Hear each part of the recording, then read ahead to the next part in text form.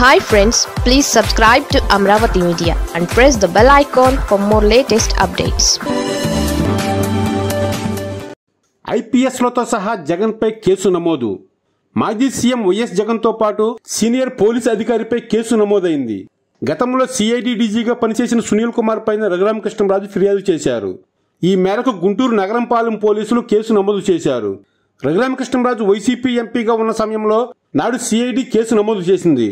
ఆ సమయంలో సిఐడి అధికారులు తనను కొట్టడంతో పాటు హత్యాయత్నంకు పాల్పడ్డారంటూ రఘురామకృష్ణరాజు ఫిర్యాదు చేశారు. ఇదంతా నాటి సీఎంగా ఉన్న జగన్ చేయించారంటూ తన ఫిర్యాదులో పేర్కొన్నారు. సునీల్ కుమార్ గతంలో సిఐడి డీజీగా పనిచేశారు. గుంటూరులో కస్టడీలోకి తీసుకున్న సమయంలో హత్యాయత్నం చేశారని రఘురామకృష్ణరాజు తన ఫిర్యాదులో పేర్కొన్నారు. కొట్టడమే కాకుండా హత్యాయత్నం చేశారని ఫిర్యాదులో ఆరోపించారు. సిఐడి డీజీ సునీల్ కుమార్తో పాటు అతని బృందంలోని పలువురిపై section one twenty B one sixty six one sixty seven one ninety seven three zero seven three twenty six four sixty five five zero six read with thirty four సెక్షన్ల కింద case నమోదు చేశారు. తనను అక్రమంగా అరెస్టు చేసి వేధించారని ఐదుగురు ఆగంతుకులతో దారుణంగా హింసించి వీడియో తీసి అప్పటి సీఎం జగన్మోహన్ రెడ్డికి చూపించారని రఘురామకృష్ణరాజు తెలిపారు. తప్పుడు రిపోర్టు కోసం డాక్టర్లను కూడా మార్చేసిన పరిస్థితి నెలకొందని అన్ని డాక్యుమెంట్లు తన వద్దే ఉన్నాయని ఆయన వెల్లడించారు. జగన్ సునీల్ ఇద్దరూ కలిసి తనపై కుట్ర పొందారని ఆరోపించారు. అప్పట్లోనే రఘురామ్ చేసిన ఆరోపణలు రాజకీయంగా సంచలనంగా మారాయి.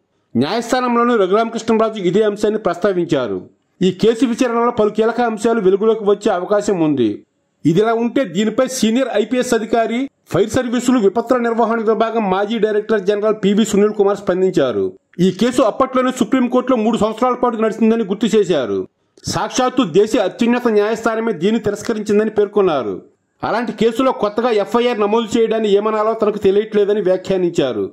వాళ్ళ విజ్ఞతకే వదిలివేస్తున్నారని పేర్కొన్నారు. ఈ మేరకు తన అధికారిక ఎక్స్ అకౌంట్లో ఓ ట్వీట్ను పోస్ట్ చేశారు సునీల్ కుమార్.